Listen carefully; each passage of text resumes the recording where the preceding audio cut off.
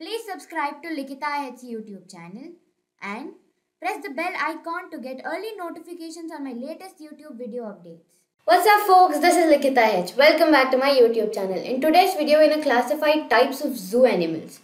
It's basically like we're gonna classify if they're mammals, if they're reptiles, so whatever. Let's first check our data set. So we have both of them, we have zoo and the class. And this zoo file shows basically what we have to read and all. It shows the animal name, whether they have hair or no, if they have feathers, whether they leave eggs, they give milk, they're airborne or so so on. And at the end we have our class type. Let me show you guys the class data set once. You guys will understand. Yes, here you go. So the class number one is mammal. It basically has 41 animals in the zoo. And the second type is bird. It has 20 animals. Third type is reptile. It has 5 animals. Fourth type is fish. It has 13 animals. Fourth type is fish. It has 13 animals. Fifth one is amphibian. It has 4. Sixth one is bug. It has 8. The zoo has 8. And the seventh one is invertebra. That's it has 10. These are basically like the crab, lobster, octopus, scorpion, and all those. And mammals are all of those like raccoons, cheetahs, seal, so on, leopard, lion, all those. And then we have birds, crow, duck, anything you can say. And reptile, you can also take crocodile, all those tortoise, anything. Fish, you have all these different types of fishes and seahorses also included. And then we have amphibian we have frog toad in all these types it has four. And in bug we have honeybee housefly ladybird moth termite all these now let's move back. Let's read our data set first. Before that we have to import. So i'm going to import pandas. Import numpy matplotlib and seaborn.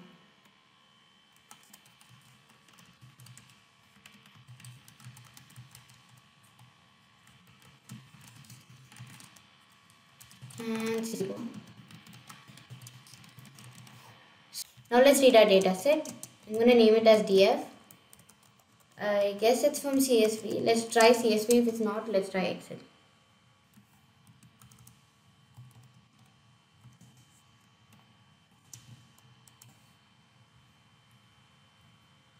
yes here we have it has 101 rows and 18 columns. Now let's check the information about this.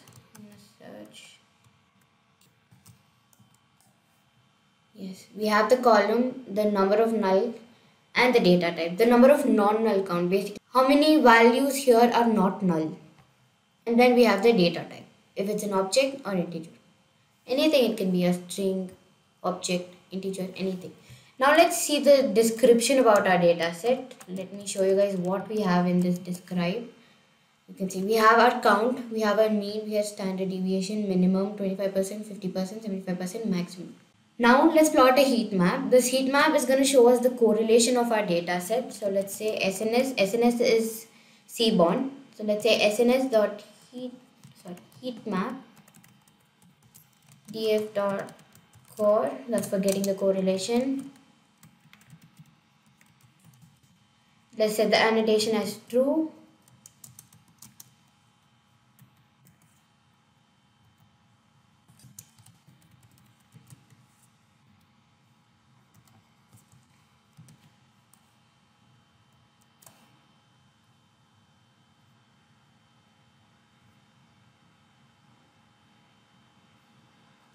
Let's set the figure size.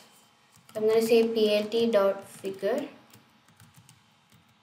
size is equal to it's gonna come in a square shape. Okay.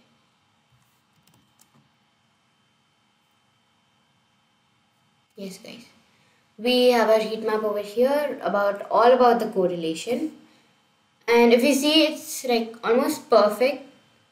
Other than a few things that there's no need to change let's move on. Now let's move uh, let's plot a count plot and let's see the count between all the columns or the features, whatever you can call. Let's set the size first, or it's gonna be messed up.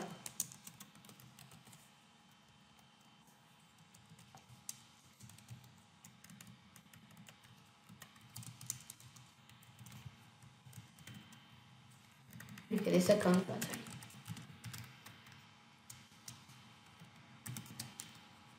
Let's set the x value as class type.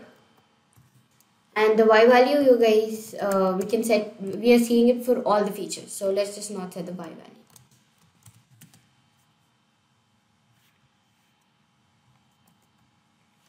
And I've set the label here.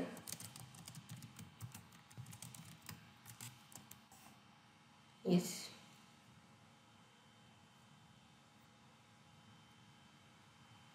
We have the first type that's mammals. Yes, that's mammals. And we have the first type, the first, the count of the first type is more here we can see. That's the mammals. Yes, that's the mammals. Now what we're going to do is we're going to import train test split for splitting our data sets. I'm going to say from sklearn.model underscore selection import train test split. We're going to set our s value and x value and y value.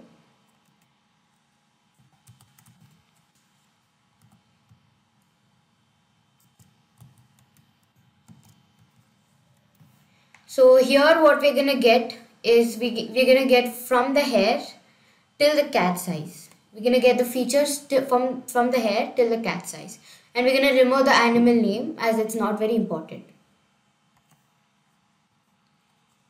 And then I'm gonna set the y value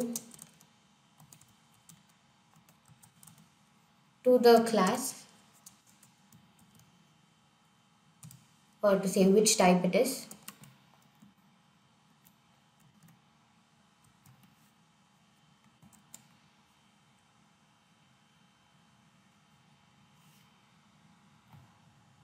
Okay. Yes. And now what we're gonna do is we're gonna fit this into a min-max scaler. So I'm gonna say scalar is equal to min-max scalar x is equal to pt dot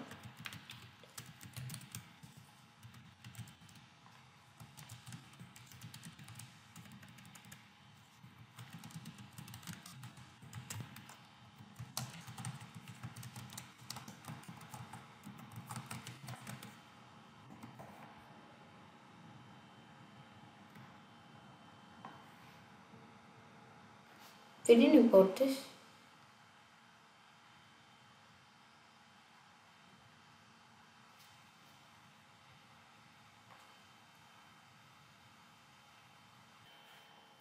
Okay, yes guys, we forgot to import the min-max scaler. So let's do that. I'm gonna say from sklearn dot preprocessing import min-max scaler.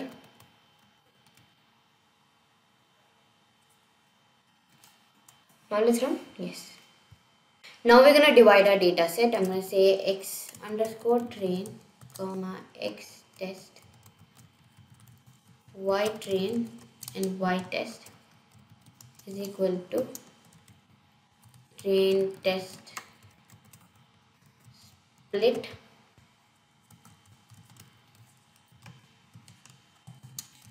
and test size let's set it as 30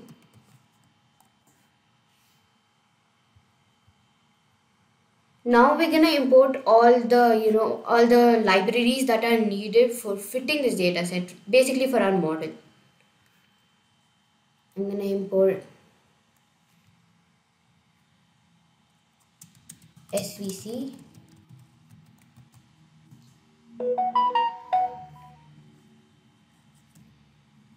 i'm gonna import svc sklearn.svm import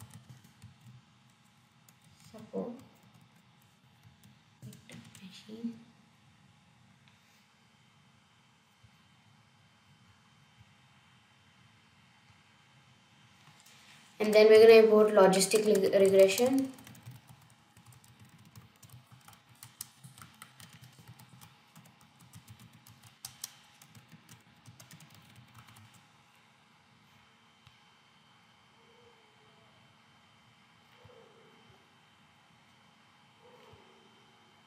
and here and then we're gonna put and then we're gonna import k-neighbors classifier.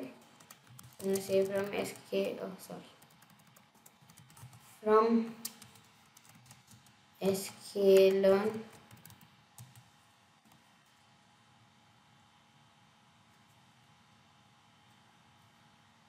from sklearn dot neighbors import k neighbors classifier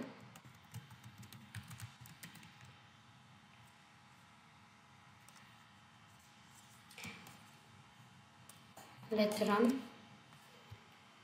Now we're gonna get our model of SVC model is equal to sorry. SVC model dot fit x comma y train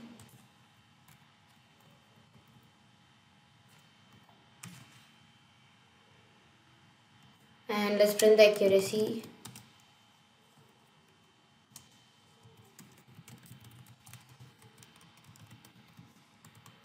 is model dot score of x train and y train.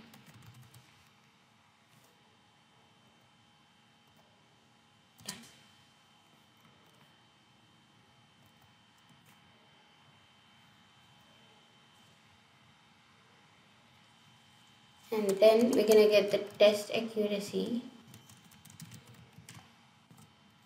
model dot score of x test and y test.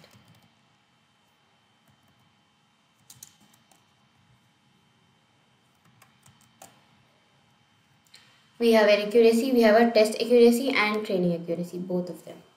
And now we're gonna get our range for our k-neighbors classifier. We're gonna first set our range. Let's set it from 1 to 50 and the weight options. And guys if you guys don't know about k-neighbors classifier like what the range is about what the weights are and about all those i've made a video specifically for these things. I'll link it in the description. You guys can watch it. Let's continue.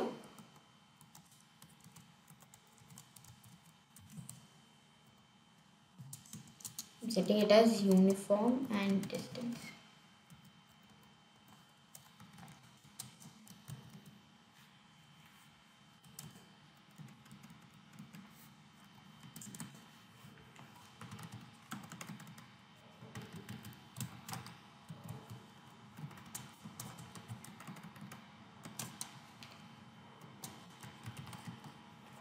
parameter grid is neighbor is equal to range. And the weights as the weight options whatever we have set p is equal to p now knn is we're gonna create a class here. Knn is k neighbors classifier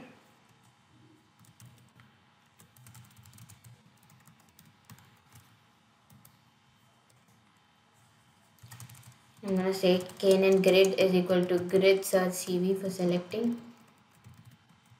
Search CV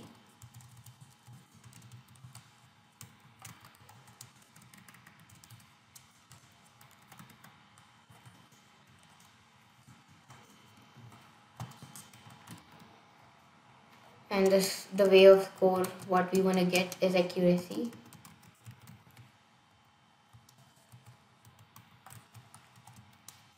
the number of times it has to run is 15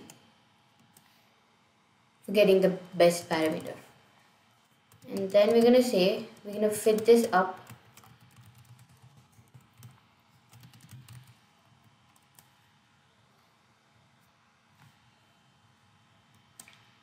let's print the best score on 10 folds And let's print the best parameter and also the best gain in metric. Let's do that. Best score on 10 folds. Split data on.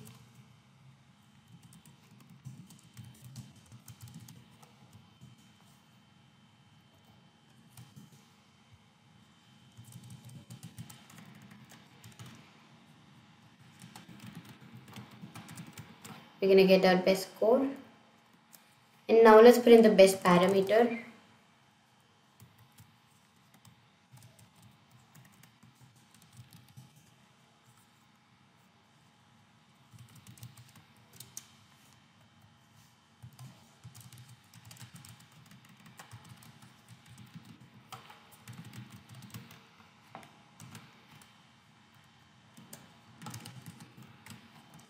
and now let's print the best metric.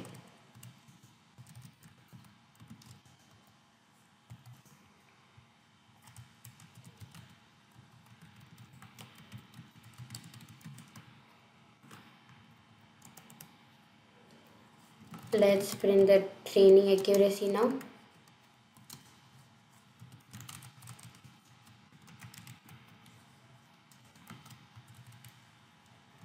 then get dot score of x train and y train.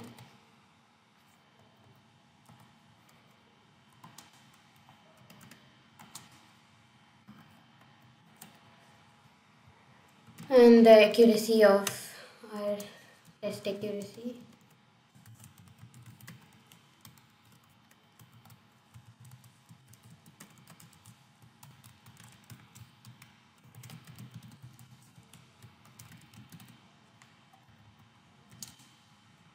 let's run this name error. Okay yes guys we forgot to import the grid search cv from sklearn dot model selection. Import grid search.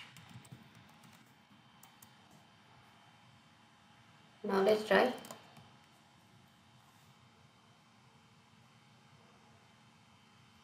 till it runs let's just keep continuing. I'm to say we're going to start for the logistic regression model. Yes it's here. We have our test accuracy training accuracy.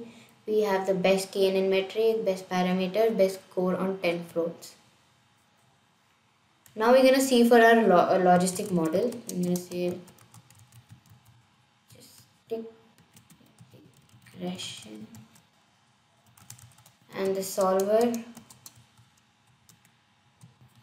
and I've made a video about this logistic regression also guys. I'll link it in link it in the description. You guys can watch it.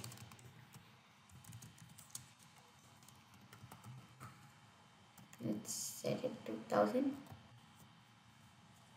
and now I'm gonna say log model. It's basically a class what I've done here. Log model is equal to logistic regression. It's a class. I'm gonna say log model dot fit x train and y train let's print the accuracy print let's print both the training and test. Training accuracy is log model dot score of x train comma y train.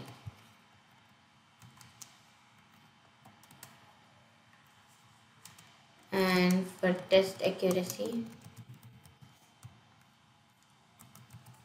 log underscore model dot score of test comma sorry y test.